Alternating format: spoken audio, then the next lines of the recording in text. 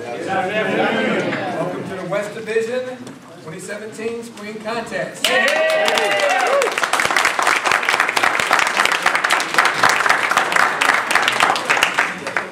My name is Tony Williams, and I'm one of the four Sergeant of Arms that seeing involved today. I am the one, I'm told, that has tickets. So we're asking everyone who does not have a ticket to please see me because Ivory, our district director, will be pulling the names and allowing the opportunity for you to win something special. Okay?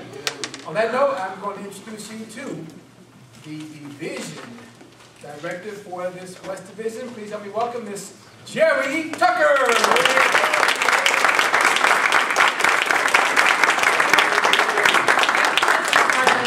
Hello, everyone. Hello. Glad to see you here to come out through this rain and wonderful weather from 80 degrees yesterday. How is everyone? Great. You know, it's a lot of great competition in the West Division.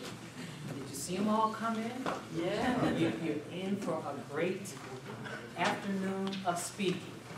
I won't delay. We've got a great contest Toastmaster, well, Toastmaster who is going to take us through the entire morning and afternoon. Listen attentively and do what you need to do as a Toastmaster.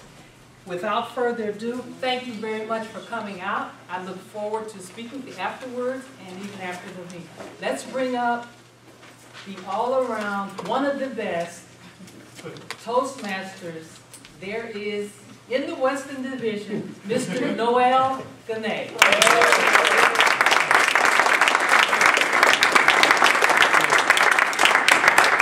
Thank you so much, Jerry.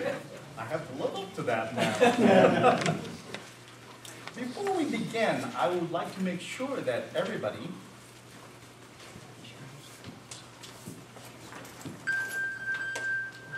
to please make sure you turn off any kind of sound machines that you have in here, put it on silent or vibrate.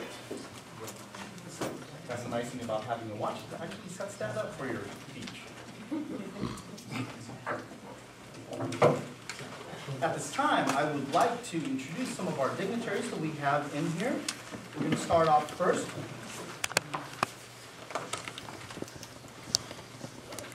with our district director, Ivory Gwynn.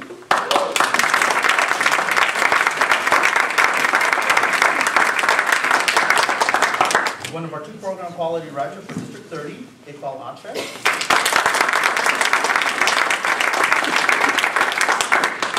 One of our club growth directors, Bill Morrell.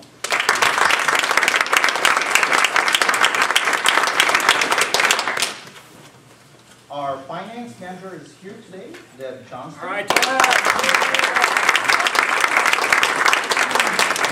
Our North Division Director, Beth Weinstein. Our South Division Director, Jerome Rowley. And of course, you have met our West Division Director, Jerry Tucker.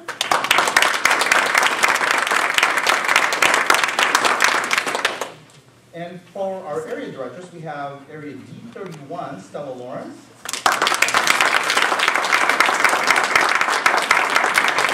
Area D33, Larry New.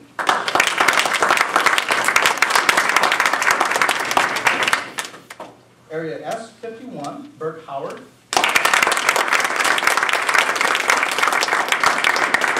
And I believe, oh, one more person here. And our past district governor, Patricia Martin, from 2008, 2009.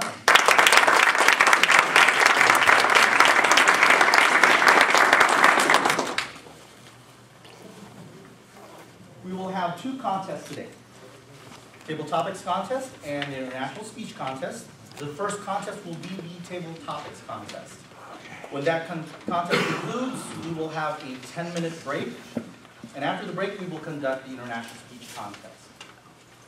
The contestants, timers, ballot counters, and sergeant-at-arms have all been briefed prior to the beginning of the contest, and everyone is aware of the Toastmaster International rules that govern this contest. No one should enter or leave the room during the contestants' presentations, but you may do so during the minute of silence between the presentations. So thank you for that. And now, let the contest begin.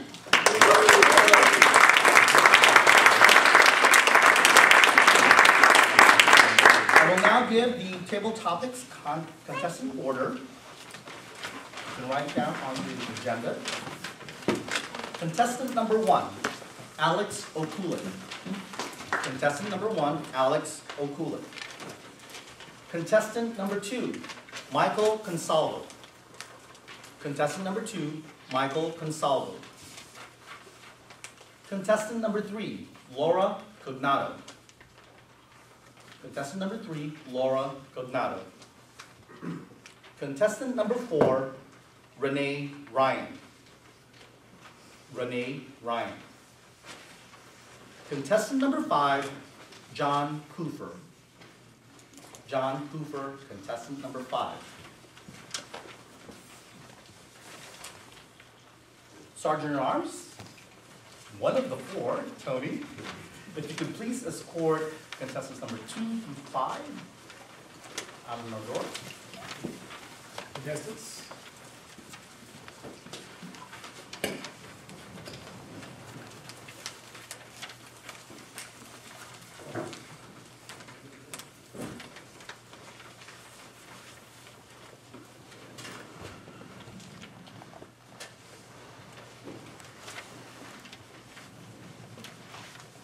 We are ready now to our table topics contestants. There will be one minute of silence between each contestant. Timekeepers, when I advise you to do so, please signal me with a green light when one minute is up. After the contestants have spoken, the judges will be given all the time they need to complete their ballot. We'll begin with the table topic contestant number one. Mr. Congress, just mentioned. Yes. Order, the contestant number one can please stand and be seated, standing at the doorway Yes. to provide a fair advantage for all the contestants. Absolutely. Thank you so much.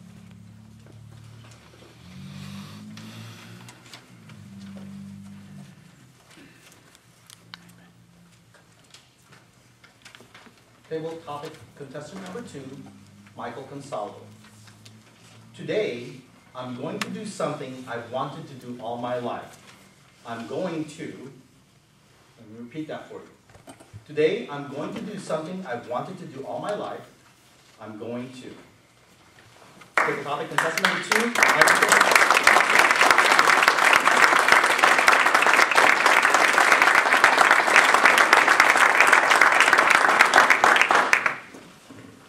Fellow Toastmasters, today I'm going to the Grand Canyon. Mm. What I do when I get there, I don't know. I've always wanted to go, I've always wanted to see it. I never knew what I wanted to do once I got there. I know I didn't want to fall in, that much I know. But the question is, what do I want to do while I'm there? I want to walk around it. I want to go in it.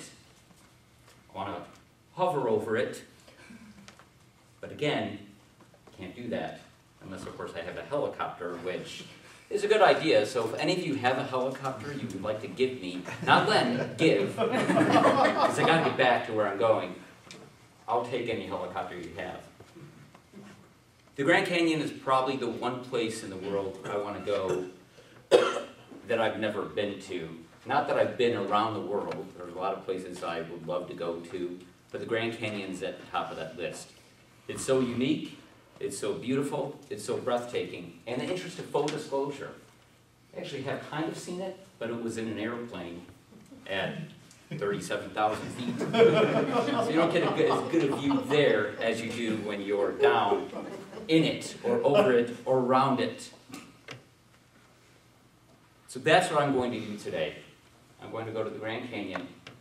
I'm going to take a million mental photographs. I'm going to bring a friend of mine who takes lots of great real photographs. And I'm going to remember that day for the rest of my life. Thank you.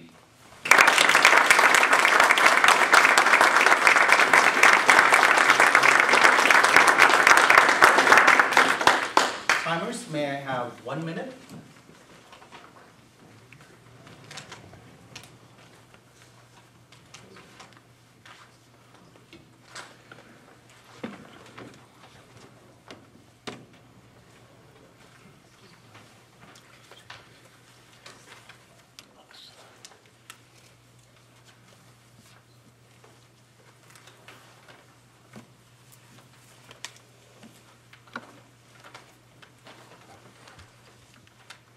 Contestant number four, Renee Ryan. Today, I'm going to do something I wanted to do all my life. I'm going to, let me read that for you. Today, I'm going to do something I've wanted to do all my life. I'm going to. Contestant number four, Renee Ryan.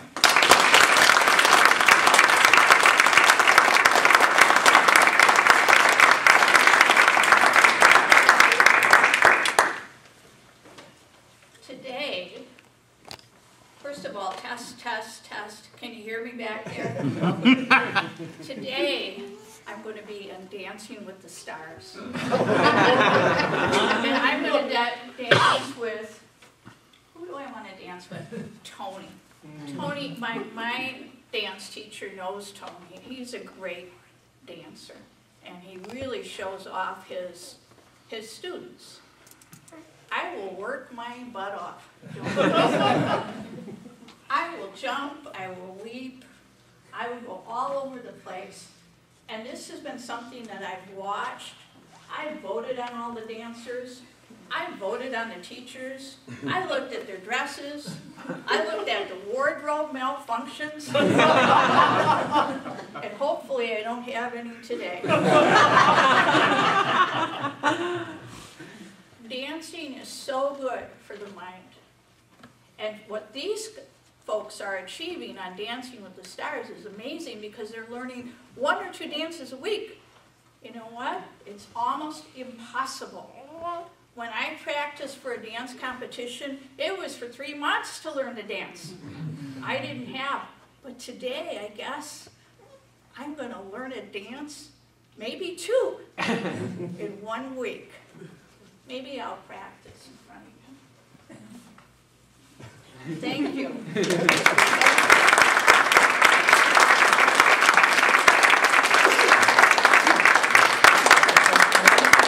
We have one minute from our timers.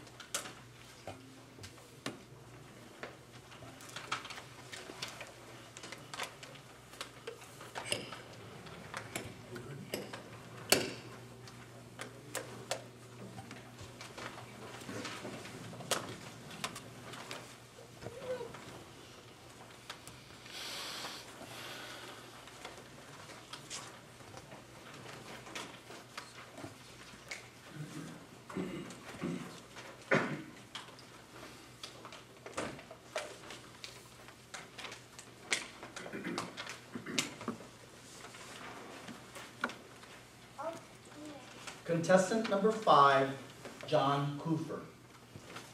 Today, I'm going to do something I've wanted to do all my life.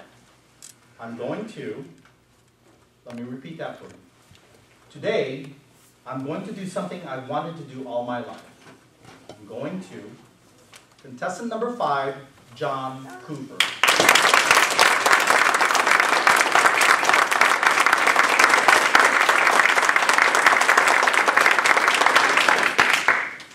Thank you, Mr. Contest Chair, my fellow Toastmasters and guests. Something I've always wanted to do was reach the epitome of my profession.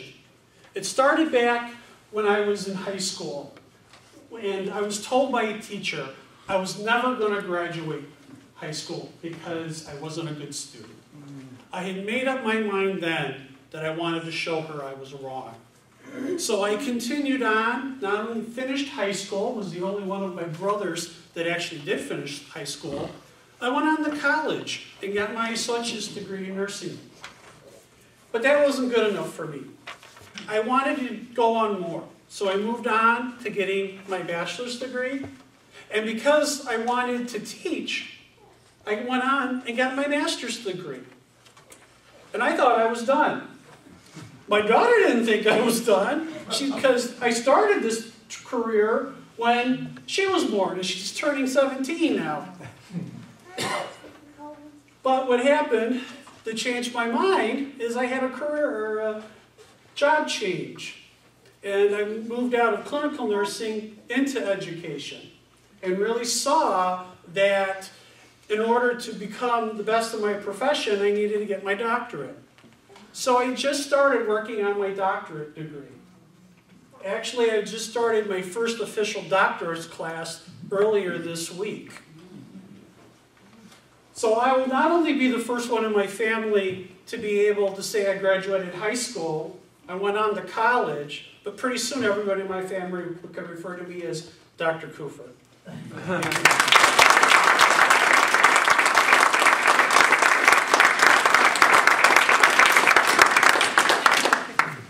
Everyone, please remain silent while the judges complete their ballots and have them collected by a ballot counters.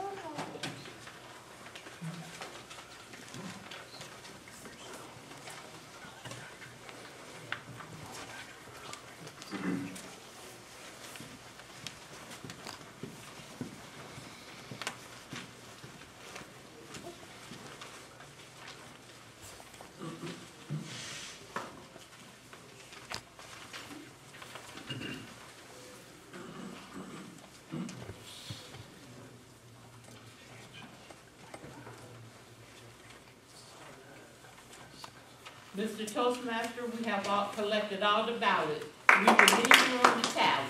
Thank you so much.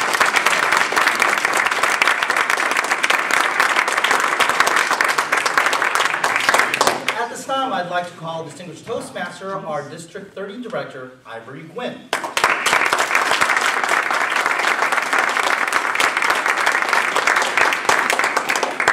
Hello, everybody. That was great, that was a great tabletop contest. Great question, too. Okay. What do you guys want to know? The meaning of life. I'm going to let Great Bill table. Burrell tell you the meaning of Toastmasters life.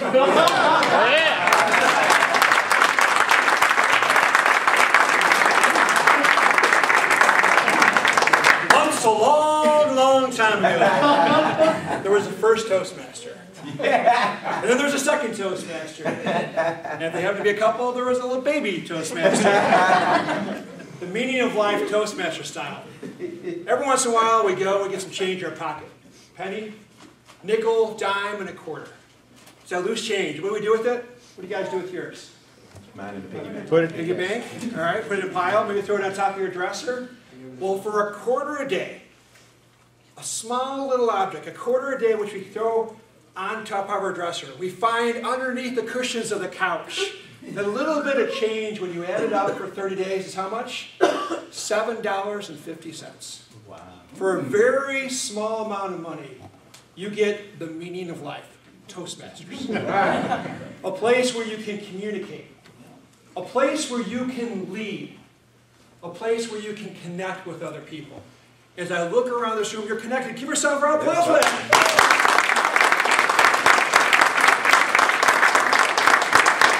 I see people from the north side, Cubs out back there. I'm sure I see people from the south side. Sox fans? We got people from the east and the west. We got people that are all over the world in over a hundred countries, over 300,000 people, and over 1,300 clubs. More than that. Wow. A lot more than that. You get a chance to meet with other Toastmasters, but you can only do it if you stay as an active club. And your contestants can only get going on if you've had at least eight people pay in your clubs by April 1st. So by a week from today, you need to have at least those eight members paid for you to continue that great meaning of life, Toastmasters. So join me, if you haven't already, go ahead and pay your dues. Nudge your neighbors, even little babies, well not babies, you got 18 or more. You gotta get them started, and with that, we can continue the great meaning of life and have communication, leadership, and teamwork in Toastmasters. Mr. District Director. Now I'm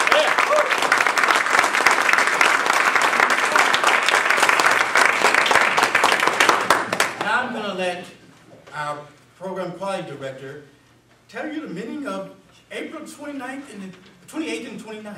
All right, all right.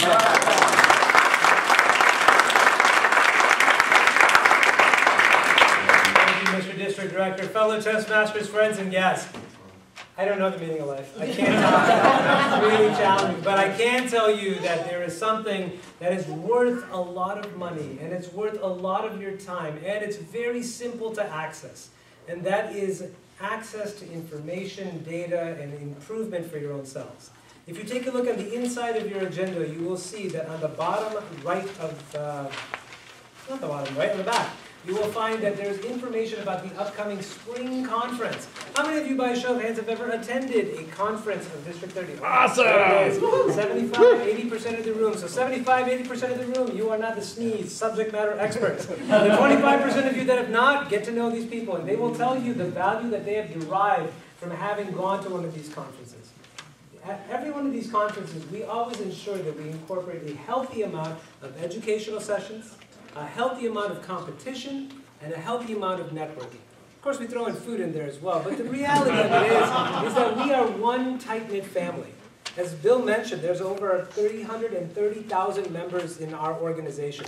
We're in over 136 countries. And within Chicagoland, there's over 5,000 of us. 5,000 brothers and sisters bonded in Toastmasters. This is the place to see them all, meet them all, get to know who they are. Of course, as you know, we're at a West Division contest, right? Right. And that means the winners of tonight's contest will be bringing, the winners are going to take their A game, and they are going to bring it to the highest level possible within the district. They will be competing at the District 30 Table Topics Contest on Friday night, and or the District 30 International Speech Contest on Saturday.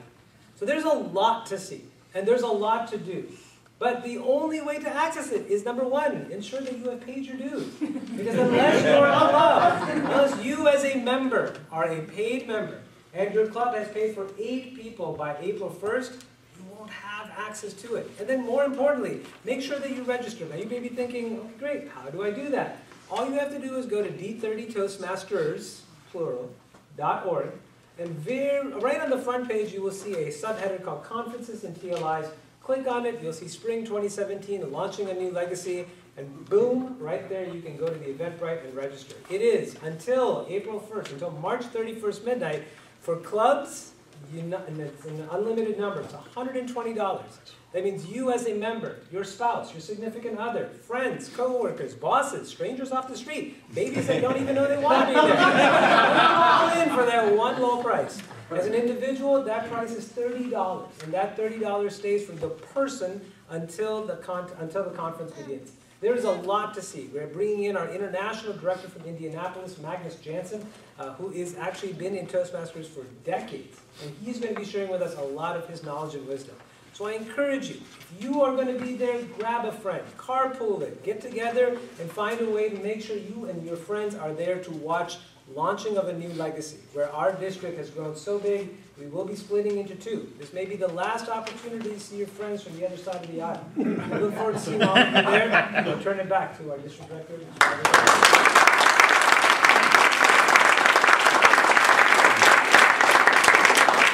Gonna go, I'm gonna add something to that.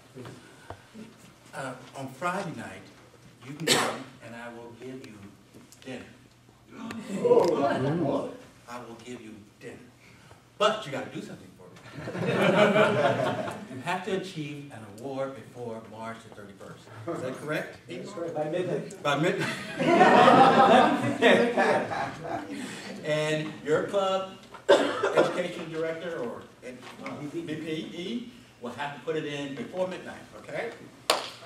Now, also, uh, we're gonna have, gonna come and celebrate, celebrate District thirty Chicagoland for the last time. So we're gonna have fun, no matter what. So come on out and have, just in, uh, go to the education sessions, learn about Toastmasters. But truly, you need to be learning for yourself. Because Toastmasters is an educational program that helps you realize that you have to value yourself first. Value yourself. When the, the window of opportunity is shrinking for us all, you got to be able to speak up. And on that key, I'm gonna start giving some raffles. Giving some prizes away. Now, how am I gonna do this? Football, can you assist me? I would like you to call out the numbers as I give gifts. I'm Santa Claus. May I ask before you do, I just want to query the audience. Oh! Does anyone else need a ticket, may I ask? Anyone void of a ticket, who does not have a raffle ticket? I see one hand, two hands. Over here. I got one more right over there, Mr. Videographer. All right, now ladies and gentlemen, please break out your lovely blue tickets, because this may be a ticket for you to win something really big. All right, one three nine. Mm, you gotta put the last ticket in, come on. Come on. Uh, it's still between. One three nine, six, zero, four, five, oh, six zero four five. Okay.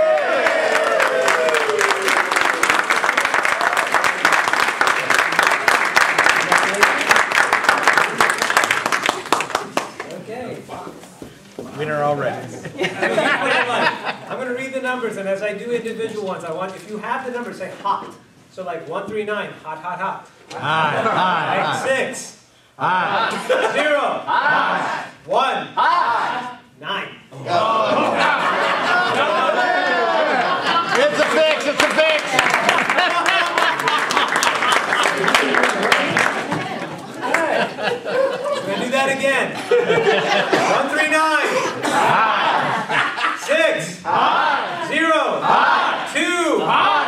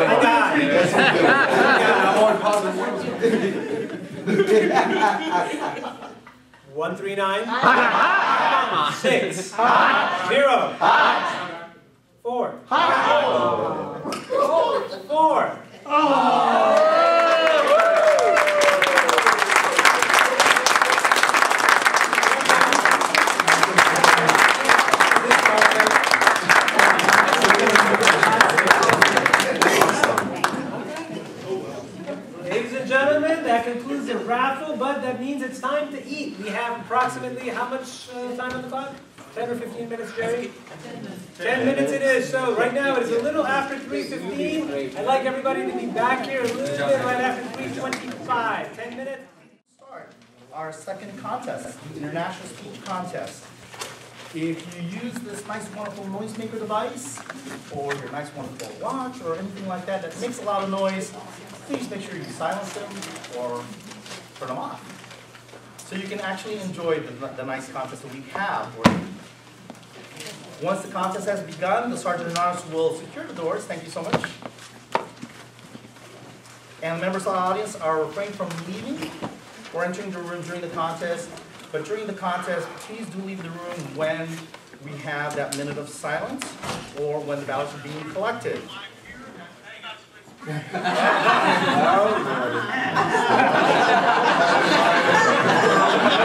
Posted something on Facebook Live and it actually responded back. So, you didn't hear anything. Actually, when you get the chance, check it out on Facebook Live. Good thing about our West Division contest. So at this time, I would like to announce the order of our contestants for the National Speech Contest. Contestant number one, Steve Orr.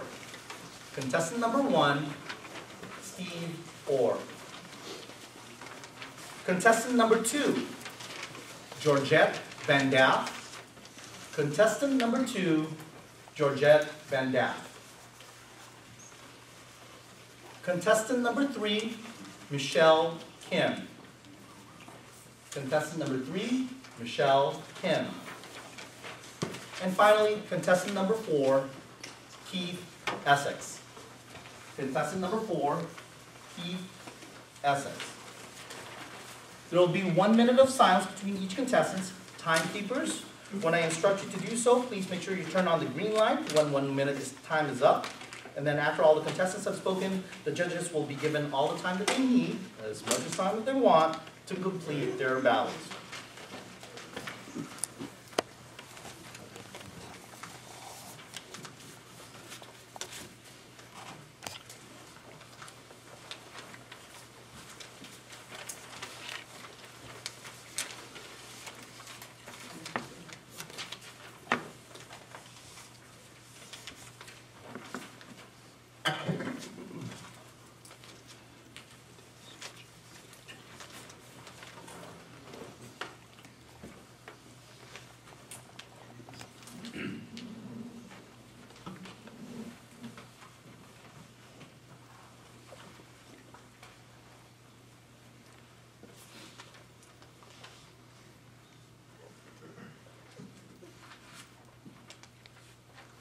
Contestant number one, Steve Orr, missing and presumed fed. Missing and presumed fed, Steve Orr.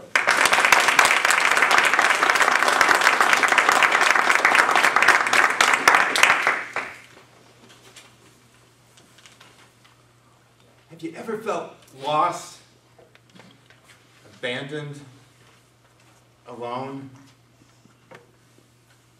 Then you know how I felt when I turned around and saw my family had walked off and left me while was staring at the dinosaur exhibit at the fair.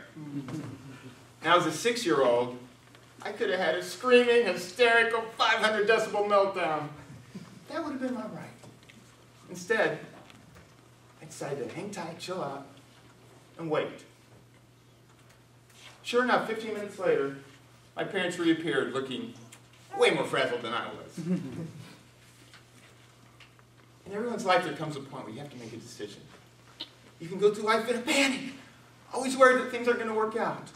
Or you can go through life as an optimist and assume that they will. That was the day, fellow Toastmasters, friends, Western Contest Chair, that I learned to approach life as an optimist. Many years later, I got the perfect opportunity to put that optimism to the test. When I was in college, I used to visit my father, who worked as a pilot in Jeddah, Saudi Arabia.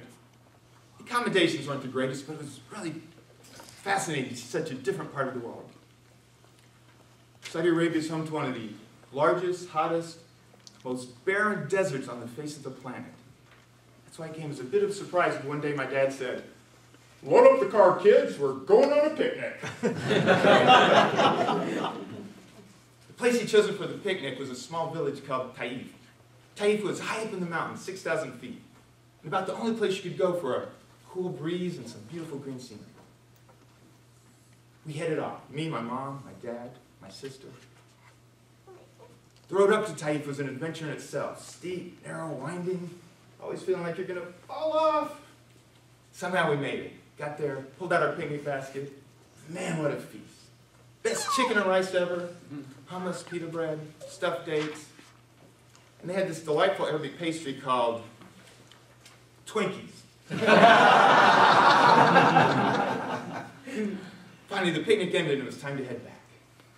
As we begin our descent, we quickly realized the driving conditions had changed. A cloud had descended on the mountain and we're driving through fog as thick as tar. As we were inching our way forward, suddenly a police roadblock stopped our car. Go no further, he said. Visibility too poor. You must turn car around and go other direction. Had to go in the other direction. meant to go to the desert. To go through the desert meant no street lights, no street signs, no streets. My mom, a major worrier, was already starting to panic. I don't think this is going to end well. Don't worry, Mom, I told her. I got a feeling. We're going to make it. We'd been driving about an hour when the sun went down. We started to lose our sense of which direction home was. I reached my cell phone to call for help, and then I remembered it was 1985.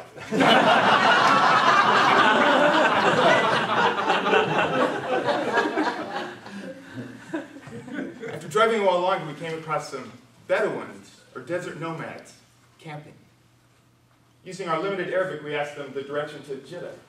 One of them said something, hopped in his truck, and sped off. I assumed he said, follow me. Could have easily been, must return library book.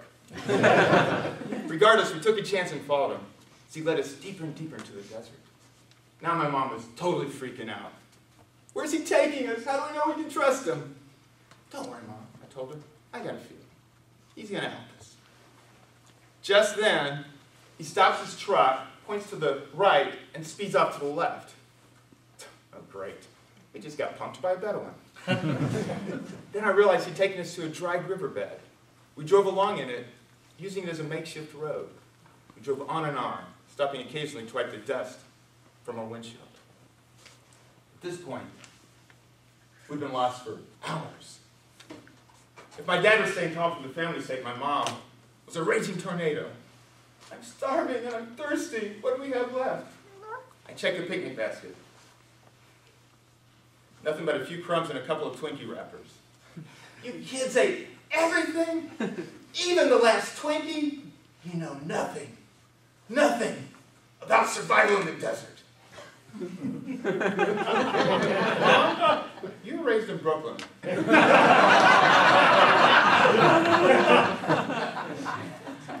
drove on. I glanced down and noticed a needle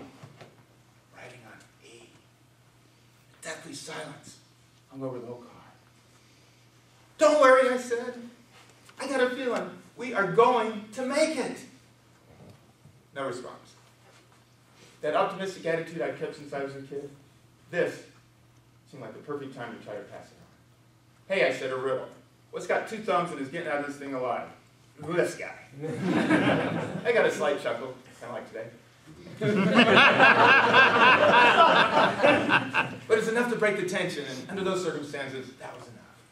Finally, dying of thirst. On the verge of running out of gas, I saw a tiny little pinpoint of light off in the distance. And then another one. And then a whole sea of them. Spoiler alert, we made it. Relief washed over us like a giant tidal wave. Fifteen minutes later, were pulling up in front of our house. It may have been a, a prefab condo in a company compound in the foreign desert. But on that day, on that particular day, nothing had ever felt more like home. My Lawrence of Arabia days are over, but I think back to those times. And I am so grateful to my parents for giving me the opportunity to see the world. It's okay, we made it. I think back, and what I've learned is when you're an optimist, there are no bad experiences, only new adventures hmm. in your next Toastmaster story.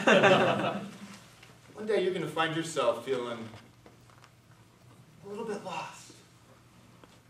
But when that happens, just remember as long as you keep a positive attitude, you're going to make it too. But just to hedge your bets, always carry a spare Twinkie.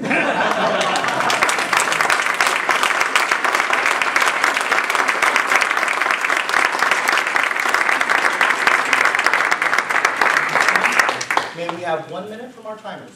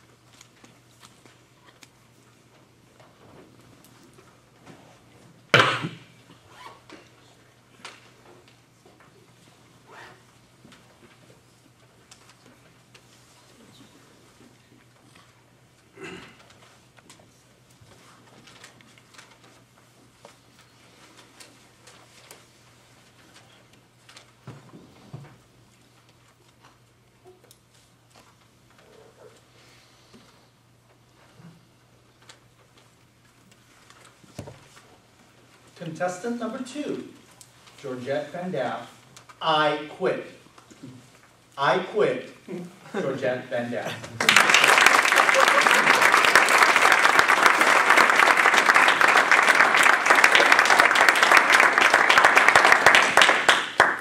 Thank you, Mr. Toastmaster, fellow Toastmasters, distinguished guests, friends and family. I quit! What a powerful release. Quitting can have a negative connotation sometimes, can't it? I give up. I'm done trying. I'm good at this. I'm done. Just by a show of hands, how many people here have ever quit anything? Anything? I'm in a room full of quitters. now, I don't want any deep, dark secrets. But one word, something you quit. Anything, shout it out. Job. Divorce. Basketball. Good job. See, some of these things don't sound like bad things to let go of, right? Cigarettes. I mean, exercising. We'll, we'll circle back to that. Divorce could be a toxic relationship. It doesn't sound that bad, right? A couple years ago, I decided I was going to start running again. After decades of running. And I decided I was going to do it because I wanted to be healthy, I wanted to lose weight, and I wanted to reduce my stress. I wanted to get into a shape other than round. so I used an app that I'm sure some of you are famili- familiar with, may even have used. C25K. Anybody familiar with that? Couch to 5K. so it's a great program that takes you from Netflix and chill to running a 5K. so I used this program. Run, walk, run, run, walk. I did this until I got to the end of the program where I was running the entirety of my exercise program. I was so proud of myself. I was losing weight. I was feeling good. I was losing stress. I felt fantastic. This is exactly what I wanted. Till one day, I began my workout program and I took a step off the curb and I felt pain in my foot. Mm. Now, being the reasonable person that I am, I ignored it. I ran the rest of that workout and several more afterwards. Until when I was walking, not even exercising, I felt excruciating pain in my feet. I relented. I went to the doctor. They took a bunch of expensive scans to determine what I pretty much knew. I had developed stress fractures because of the running. Now, this thing I was doing was supposed to take me to the next level. And now I'm sitting here with stress fractures. I had to wear a boot for six weeks. Now, as I run, if I can run, I have to wear these sexy inserts. I'm not even supposed to be wearing heels.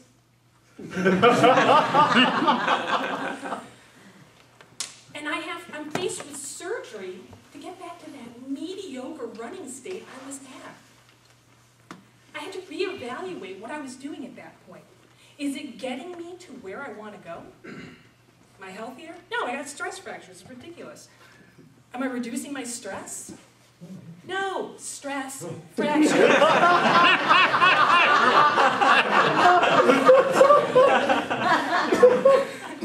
this was not getting me to my ultimate goal. So should I continue?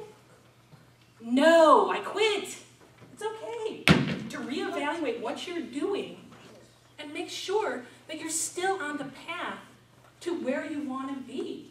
You have to ask yourself, self, why am I doing what I'm doing? Is it helpful?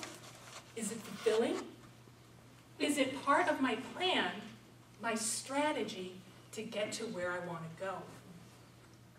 Christiana, Hef- uh, Christina Henderson of the Huffington Post says, I'm not sure why we learn. There is honor in finishing things that are unfulfilling, toxic, and stressful as long as we don't quit. Think about that for a second. Just so you're not called a quitter. You're completing things. You're staying in toxic relationships so no one calls you a quitter. What are you feeding? Your ego? Or are you feeding your path to success? It's okay to reevaluate where you are in relation to where you want to be. It doesn't make you a quitter. To quit the toxic relationships, to quit the bad behavior, to quit the self-doubt, give yourself credit.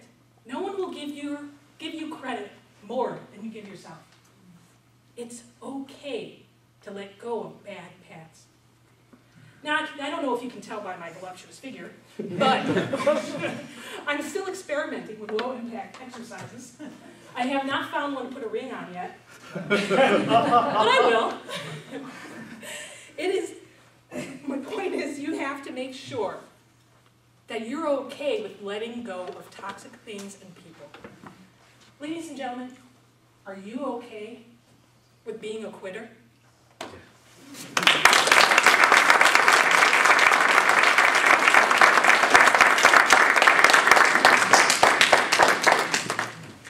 Timekeepers, please provide me one minute.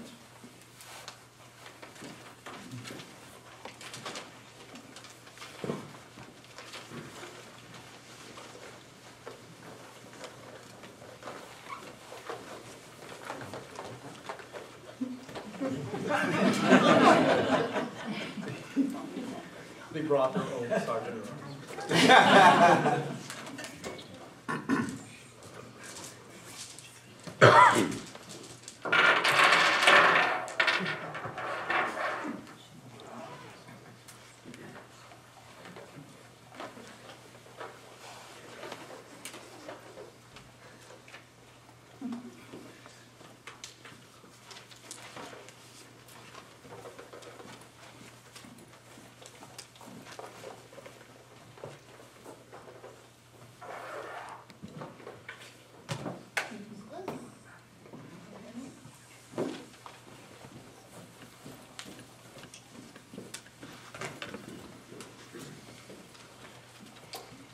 Contestant number three, Michelle Kim, Leaving Troubles Behind. Leaving Troubles Behind, Michelle Kim.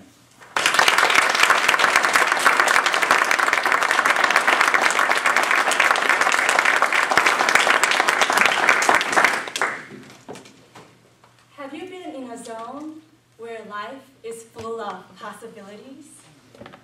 Didn't you feel like flying when you were in that zone? Unfortunately, life doesn't let you stay there, does it? Mm. It throws at you painful rocks, and you fall. You pick up the rocks to remember why you fell, and keep them in the backpack. Life throws at you even more rocks, and you fall again. And again. Collect even more rocks. Rocks of self-doubts, fears, and negative self-talks. And you keep them in the backpack. Over time, it's too heavy to carry them all. Have you ever felt that way?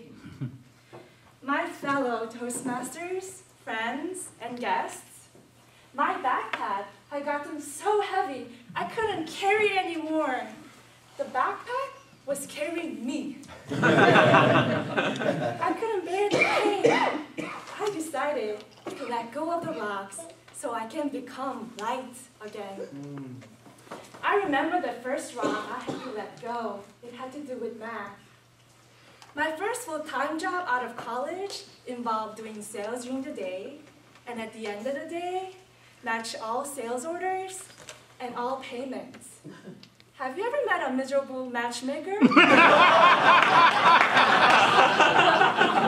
is thinking, The store is near closing, and I'm rushing through the numbers, and the two refuse to meet each other in the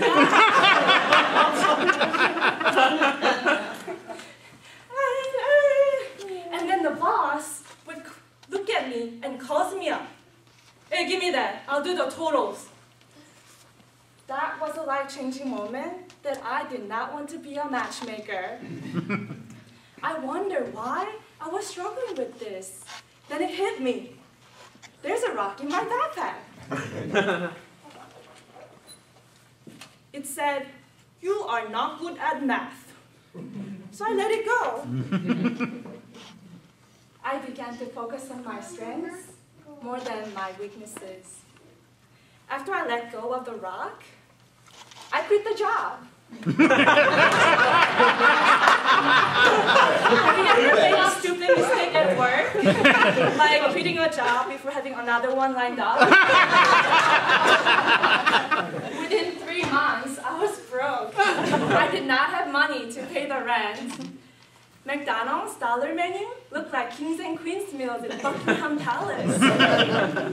then one day, I heard a phone call. We're looking for a bilingual Chinese speaker. I saw a McChicken turn into a steak before my eyes. I went in for an interview with a lot of fears and self-doubts about landing a new job. From the previous job, I failed. Many companies rejected me. And my self-confidence had taken a dive. With these rocks weighing me down, I sat at the table. The rocks were screaming in my mind as I spoke to different departmental heads in the company. Only after I faced the fears and self-doubts, I was able to let them go. As a result, I landed a new job. I was happy. I couldn't be happier. I felt lighter with rocks removed. But a few years later, it was heavy again. I was lost. I turned to my friend Shaker for help. Shaker, what should I do with my life? He, went, he told me to go to a club with a strange name. You mean learn how to toast bread and I showed up to the club anyway. On the day I gave my icebreaker speech, he was there. When I returned to my seat, he whispered into my ears with a dead, serious face. You don't know who you are. You are more capable than what you think. That moment, all the negative self-talks surfaced up from the backpack. Hmm. I dumped out those stories. You are not good enough. You don't amount to anything in life. You're a failure. After I dumped out these negative self-talks, I felt so much lighter I could fly. Hmm. My fellow backpackers,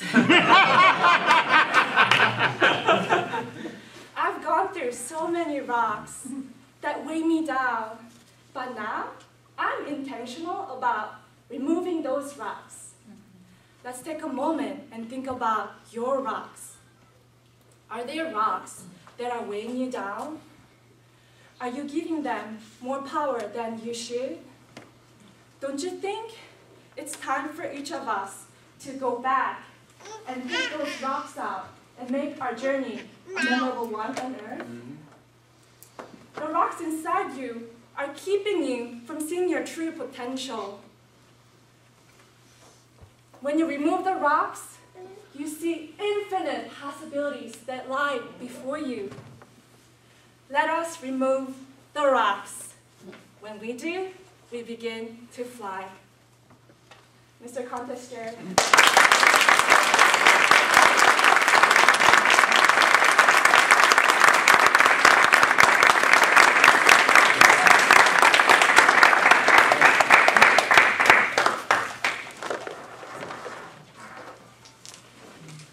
Timekeepers, please provide us one minute of silence.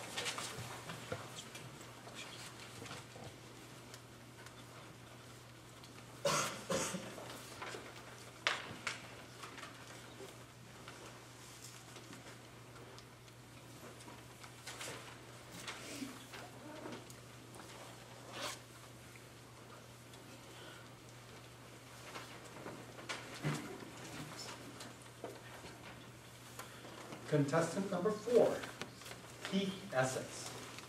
Time Management Memory Aid. Time Management Memory Aid, Keith Essex.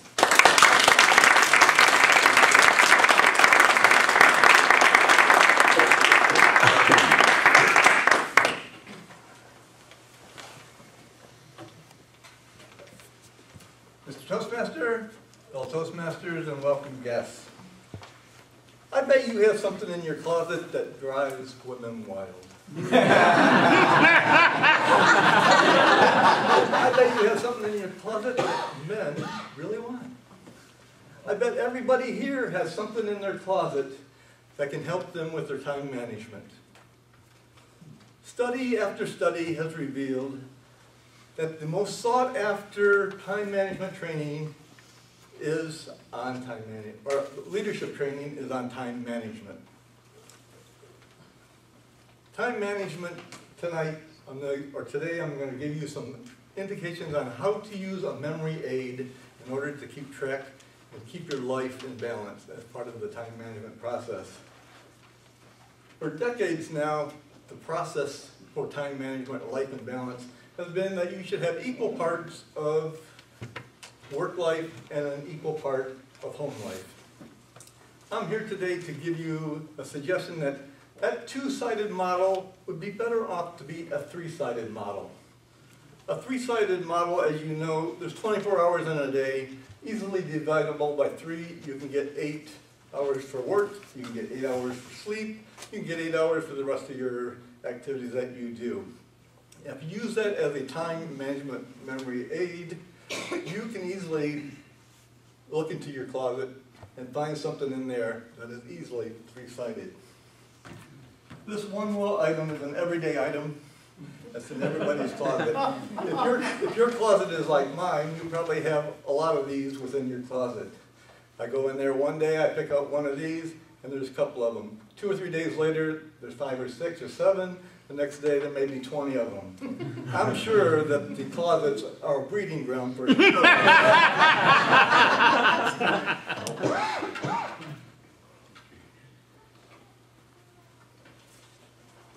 One thing about the coat hanger is that not only not being three-sided and it can be used for a memory aid, is that they're so in abundance that I don't think anywhere in my lifetime have I written down on a shopping list that I need to buy a coat hanger.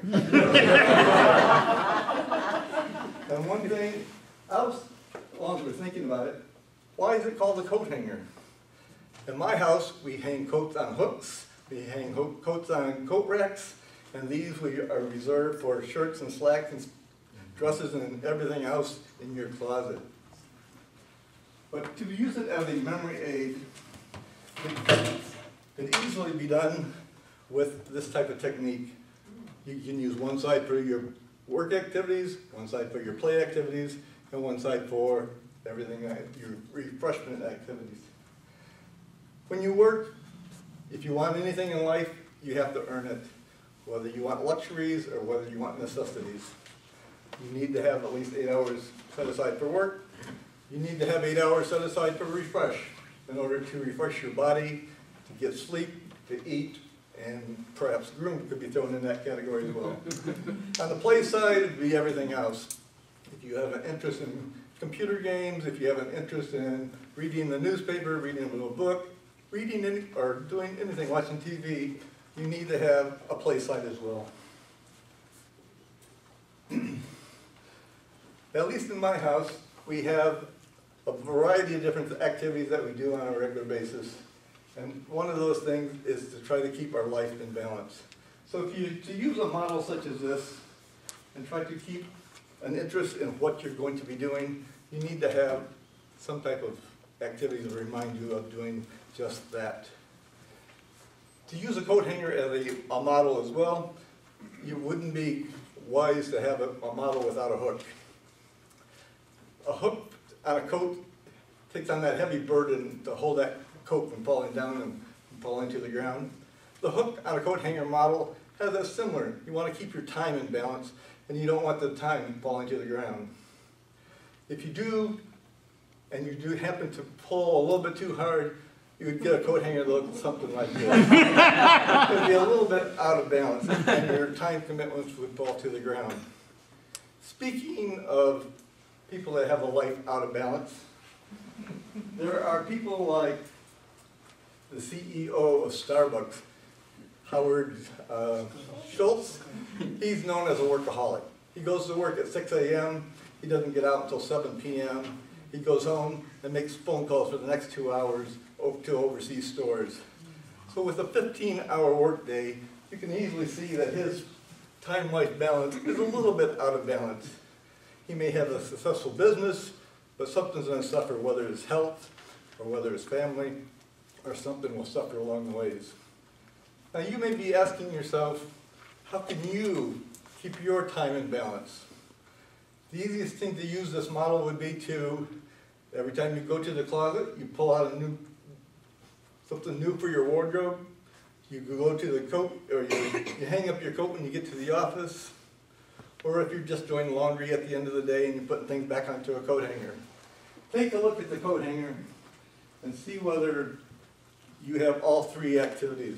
Do you have the play side, do you have the work side, or do you have the refreshment side?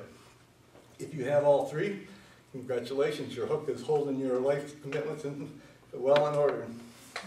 If you have the other situation though, and you have this, and you said, no, my life is not in balance, the best thing that I can do is suggest that you try to reshape your coat hanger and see if you can bring it back as a coat hanger. Mr. Toastmaster.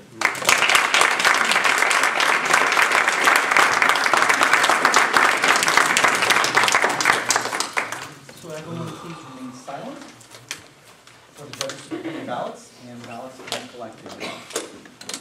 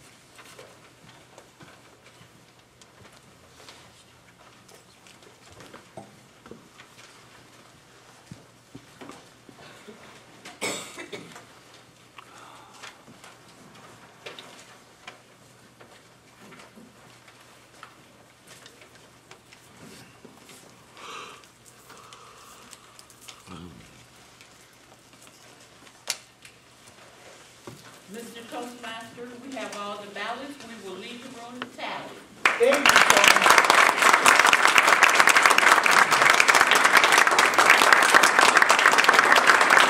you so much to our Chief Judge, Pat Martin.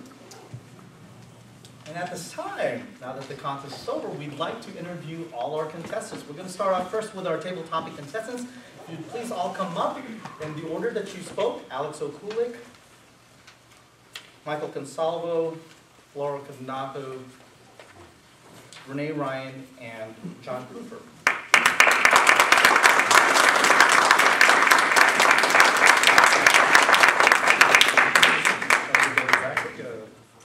Let's keep this way. We're gonna start off with Alex Okulik. It's kind of nice that I can just stand up here. so I can- That's okay, because the question, I'm, I'm gonna start off with the question. The standard question is, how long have you been in Toastmasters, what club you belong to, and what is your educational level?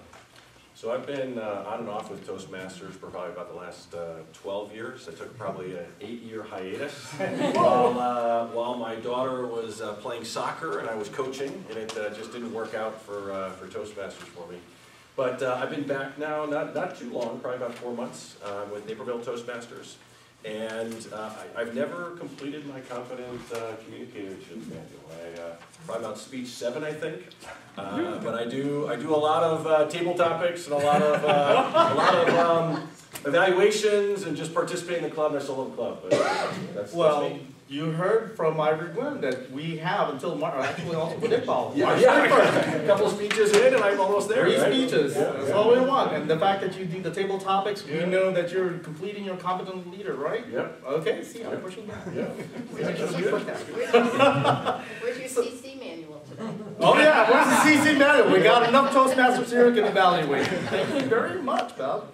Really appreciate that. Now, interesting thing about you is you are college, uh, Kalamazoo College Athletic Hall of Fame. I'm gonna take a wild stab. Is it synchronized swimming? Yes. Oh. Uh, actually, it was uh, synchronized soccer. Oh, okay, synchronized soccer.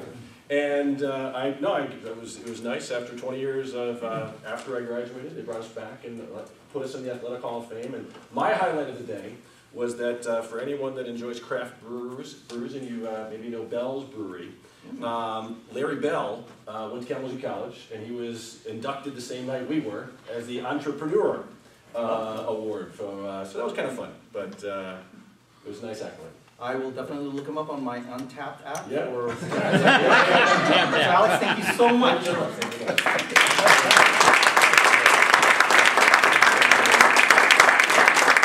Jonathan Salvo. Yes, hi, so thank you, thank you very much. Now, you're part of Area 73, we get to hear from you guys. Right.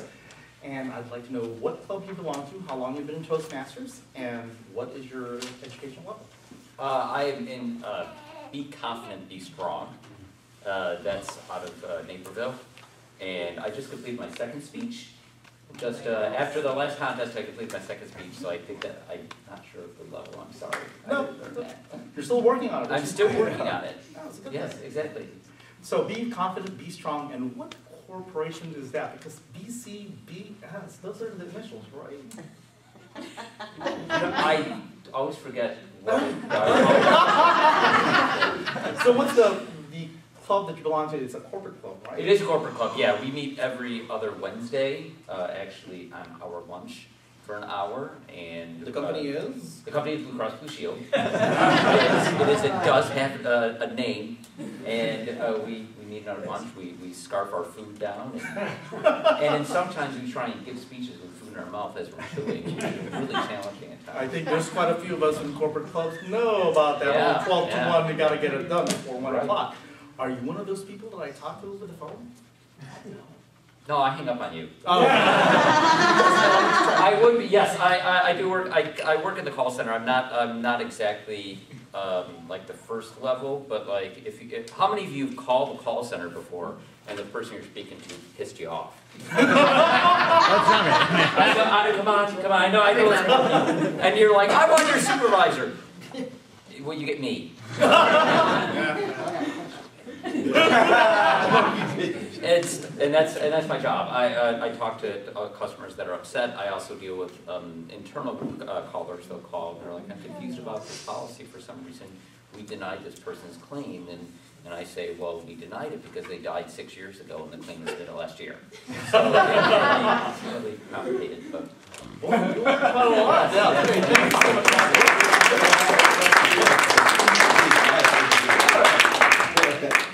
Thank you so much. Thank you so much. Now, first of all, club you belong to that you're representing today, how long have you been in Toastmasters and your educational level? I've been in Toastmasters less than, I think, nine months. I belong to two clubs, uh, Naperville 2051 and Addison Elmhurst 1604. Uh, which I'm representing today. Okay, so tell us a little bit more about fact that you're involved into two clubs. It's kind of interesting to have. I had to speed up the process, I'm not getting it Your quote, only thing we have to fear is fear itself. I had to write something down that was meaningful, and I always thought this was a quote from my mother, because that's all she ever said, so I had to Wikipedia it as to not embarrass myself. It's FDR's quote. And, uh, she, she did say that almost every day growing up, and, um, it served me well. Great thing about the table topics, you mentioned about the whole traveling thing, but you also have an interest, golf. Oh, yes. Uh, golf is, my score is as high as my passion.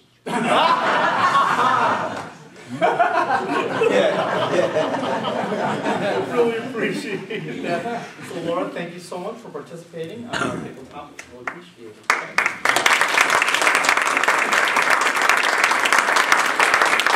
Mary Ryan. Okay, first of all, club, and how long? Peace Toastmasters. Peace Toastmasters, okay? Yeah, Be Peace. And uh, since 2014, April 2014, Okay, and your educational level? I uh, CC and I just completed my uh, competent leadership.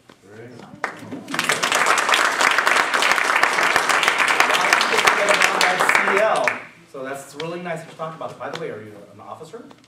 I was, last year I was a uh, secretary. See, I know like, I like doing this because the fact that I'm vice president of education, all ye all, you know what I'm about. So you've done your club success plan from the time you were serving in office and you've done the training, so why don't you just do those two presentations and get yourself an ALB?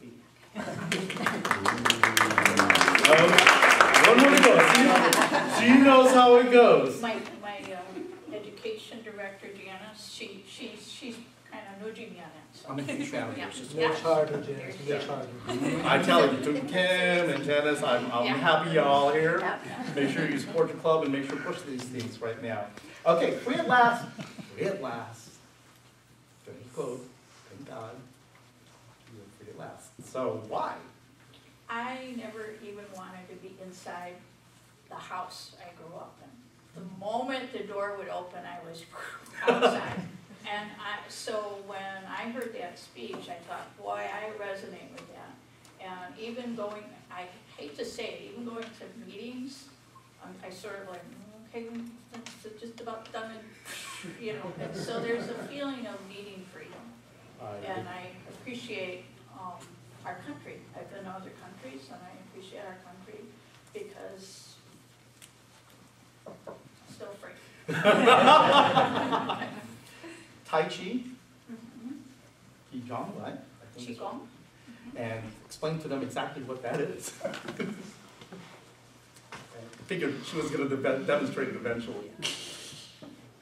Tai Chi is a very wonderful art and it's a great way of de-stressing and it's a wonderful way of preparing for age.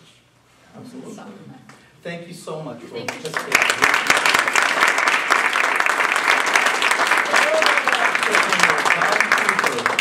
So what club do you belong to? And you better remember your, your club number, because I've got people down, people down there. We're a Saturday morning workout. We meet on Fridays. we do meet on Saturday morning. We're club number 8294.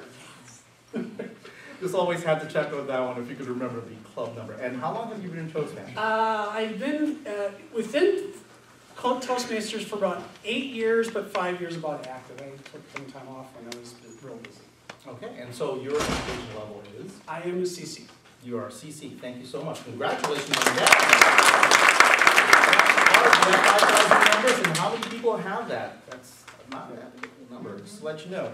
Archery, let's talk about that. Okay, well, um, I actually, my, uh, my dad and my brothers and my nephew, and for a while my son, it's just become a family activity, and it's been kind of nice because it's something that all of us can do, from my dad, who's getting into his uh, upper years, to my nephew, who uh, is, you know, just getting into high school, or getting into junior high, so it's been a, a great family activity for us to be involved in. And great thing that we touched upon when we did the table topics is some achievement of yours that from your own family Yeah.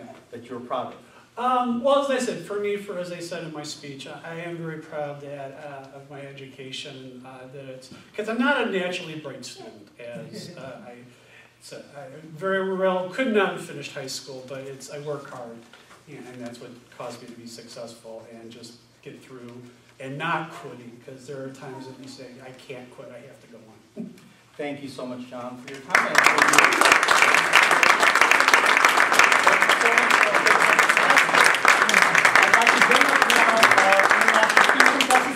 Classes in the order that they've spoken. Steve Orr, Georgette Van Daff, Michelle Kim, and Keith Essex.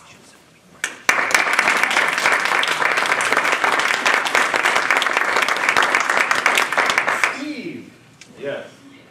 so let's talk about, first of all, what club you belong to. I belong to, I'm here representing Naperville Toastmasters, Club 2051. I'm also a member of Windy City Toastmasters. Yes. I'm familiar with that group. A couple people here from it. We have some church proud for you to answer. And what, how long have you been in Toastmasters? I've been in Toastmasters about 10 years. Okay, and the famous question, what is your educational level? I am a DTM. When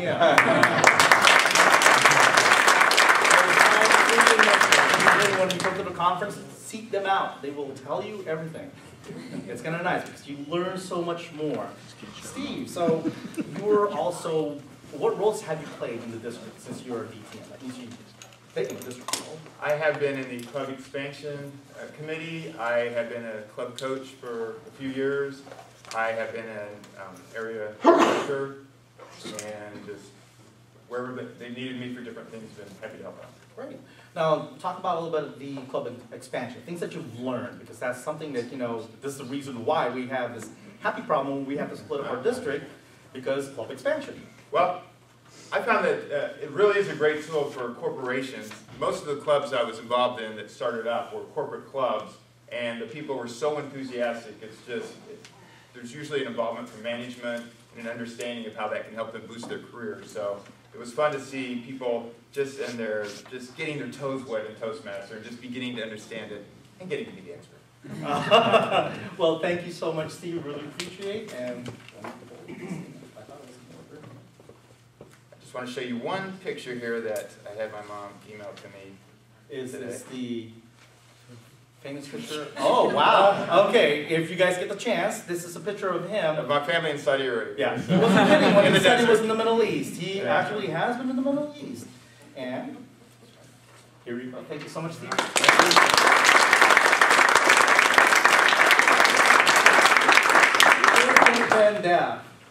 First of all, what club do you belong to? And I'm hoping you remember what the club number is because the Vice President of Education will not be happy with you if you don't remember that. And also, how long have you been in Toastmasters and your educational level? I'm Georgette Van Daff, NALCO Toastmasters 5004. I have been in Toastmasters, I just made a year in February. Yes. I am a CC and an ALB. And what roles do you play at, in Nalco Toastmasters in this past year? I'm glad you distinguished NALCO Toastmasters. I play lots of roles. I uh, have been the secretary for the club, and I'm currently the treasurer. It's all about the money, so you can remind everybody here that what, what did they have to do before April first? Pay your dues. Pay your dues, because you're gonna have to compete with us. We've paid all of our dues. Yeah. Woo! Great job, thank you so much.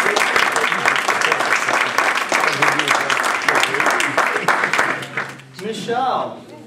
Okay, first of all, what club do you belong to? I belong to Town Crier. Representatives here from every single club. And how long have you been in Toastmasters?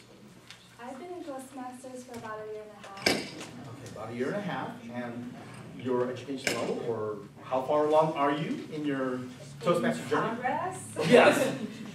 So in progress, okay, so you, anybody, if you brought your book, please tell me that you guys gonna help her out with this and Yep. evaluate that, it's gonna be a good thing. Okay, you like watching TED Talk videos, a lot of people don't know what exactly it is, if you could tell them exactly what a TED Talk is, and why do you enjoy it? It's almost like a table topic. I, I think that they have everything, every topics from science to education to spirituality to um, diet, uh, everything. And I think you can learn so much uh, from people who have unique ideas that, and, and you can learn from them all in one room. so I, I think it's a great way to, you know, learn and learn, you know, learn from other speakers and get educated. Well, appreciate that you're here, and thank you so much, great job.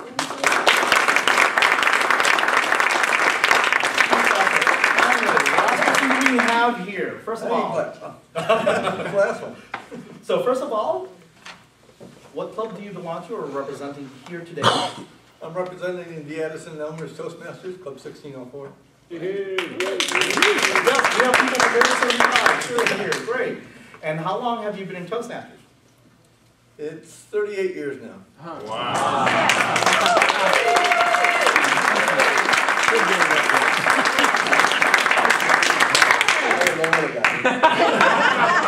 proud of myself hitting two years coming up in April, but thirty-eight years, wow, okay. And your educational level? I'm a DTM. DTM because there's something else that I want to make sure everybody is aware because this is unique. I rarely see this when I go to the competitions that we have here. But what was your district role that you had? I've had many district roles, but I guess the biggest one was being district governor back in 1988, 1989. So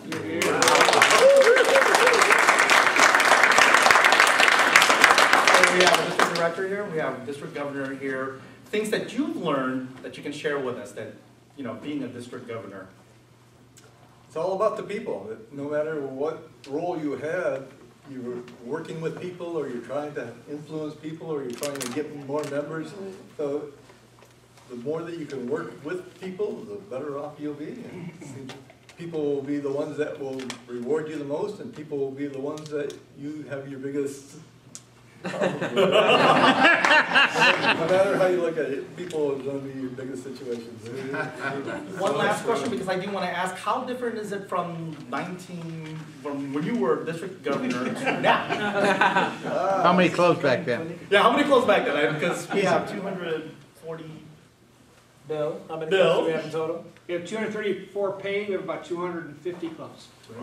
So how, back then, how many? Back, back then it was about half that much. Mm. So Oh, we had wow. about 125 clubs at that time. And it was in a growth spurt at the time, because when I first came in as an area governor, we probably had fifty, maybe seventy-eight was total for the district. Mm. So We have seen expansion, so you are seeing our clubs change so much. And we really appreciate the fact that you served as district governor, and thank you so much for competing today.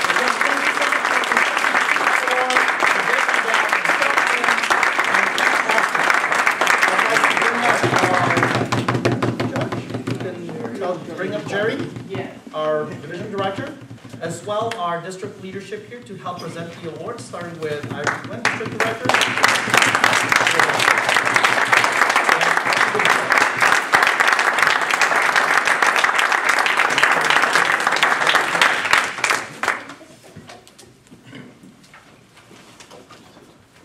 The time has come. Little drum roll.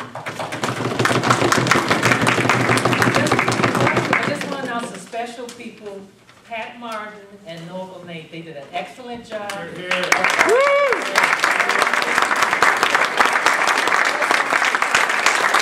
Program person, Mr. Iqbal, program coordinator, for assisting me in the final moments to get this. I really appreciate that. Thank you.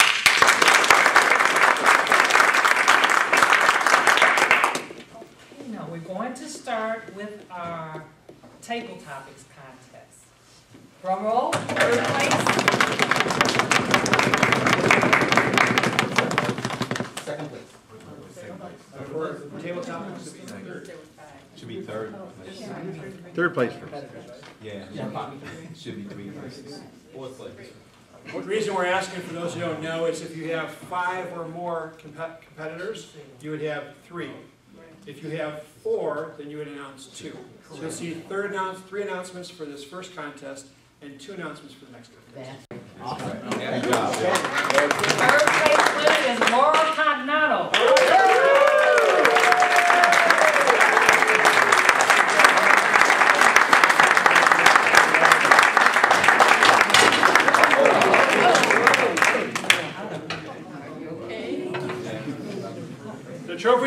Trophies are okay, the trophies are. Hey, that happened one, almost happened one year. I saved the day. They were laid to the side. Okay, At this time, drum roll again for second place